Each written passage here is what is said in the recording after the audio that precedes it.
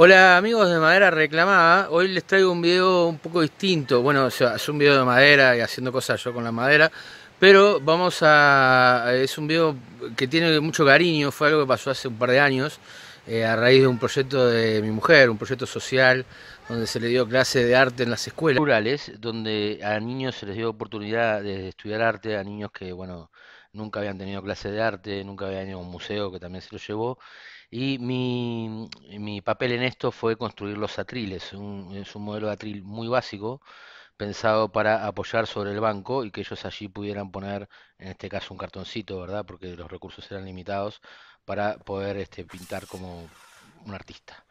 Eh, para esto, bueno, lo que hice fue eh, utilizar eh, unos palos de 10 centímetros por 5 Mm, los corté con mi guía para cortes en 90 grados, eh, en forma rápida y repetitiva.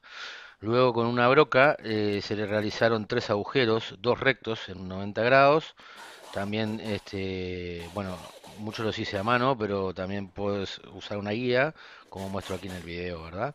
Y luego un tercer agujero, que este fue con, con una inclinación de unos 15 grados más o menos, para lo que me hice una, una plantilla que ahora veréis a continuación, o sea, simplemente hice un agujero en, en una madera este, de contrachapado y luego eh, usé esta madera de guía para repetir eh, la, la, misma inclinación en todos los, los atriles, ¿verdad?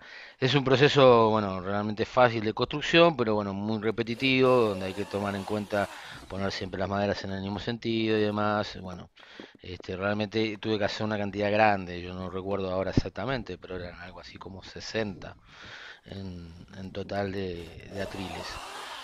Una vez que, que estaban hechos todos los agujeros, lo que hice fue usar tarugos este, cortados, eh, varillas de 10 milímetros de madera para, para hacer atril. Y previamente a esto, con la lijadora, eh, eh, maté todos los bordes, todos los filos que pudiera tener la madera. Y también dije bien, eran, eran maderas que estaban previamente cepilladas, este, ya, ya, ya se consiguieron así, desde el aserradero para no tener el, trabajo luego de, tener que lijarla completo. Aquí podemos ver los niños ya usando el atril, ¿verdad? Como ven tiene dos tarugos cortos de unos 4 centímetros o algo así en la parte de delante que sostienen la pieza y uno largo en la parte de atrás que es el que va inclinado para poder este, dar la, la pieza. El largo es de unos 50 centímetros y la pieza de abajo tiene unos 30.